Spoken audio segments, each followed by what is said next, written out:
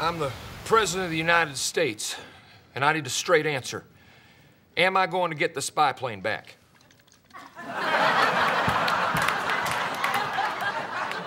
Ask again later. You always do this to me, damn it. I'm the president.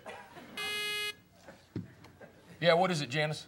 Mr. President, your daughter Jenna is here. Okay, send her in.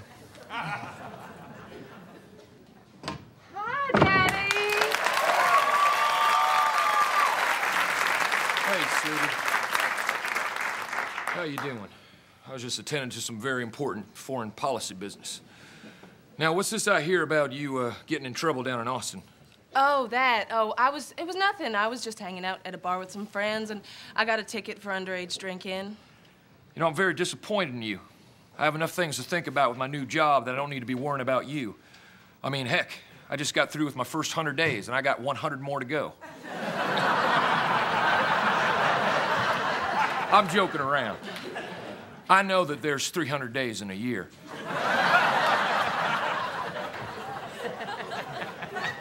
But serious. I'm serious here. I, ne I need you to, to get your act together, little girl.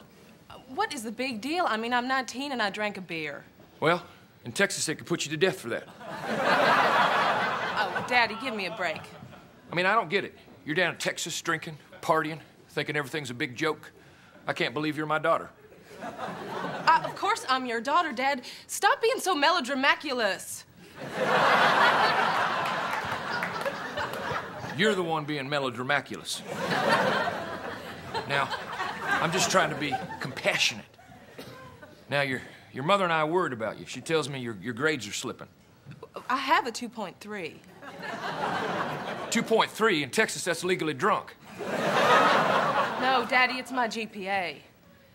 That that's grade point average. 2.3 is like a, a C plus. C plus, that ain't that bad. Hell, your mother's overacting. A C plus. Hell, someone just earned a dinner at the Outback. Really? Of the Outback? I mean, you're not disappointed in me. Heck no. Heck no. In fact, come here a little closer. Let me tell you a story. Tell you a little story about a, a guy with a C minus average.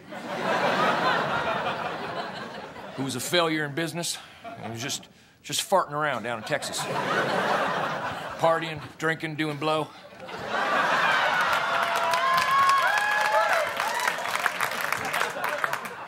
You know what happened to that guy? No, what? He went to jail because he's poor and Mexican.